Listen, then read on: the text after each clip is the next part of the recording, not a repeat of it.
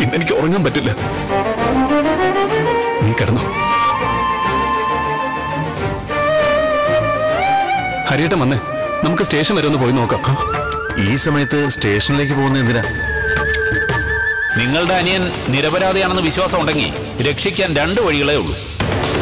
ഒന്നാമത്തെ വഴി പരാതിക്കാരി പരാതി പിൻവലിക്കണം. അല്ലെങ്കിൽ പിന്നെ രണ്ടാമത്തെ വഴി മറ്റവനെ പൊക്കണം. സൂരജ് എന്നാ അവന്റെ പേര്. ഇപ്പൊ തന്നെ പോയി അവളെ കണ്ട് സംസാരിക്കാം. ഞാൻ പറഞ്ഞ അവളെ കേൾക്കും ദേവെടുത്തി അതെനിക്ക് ഉറപ്പാ.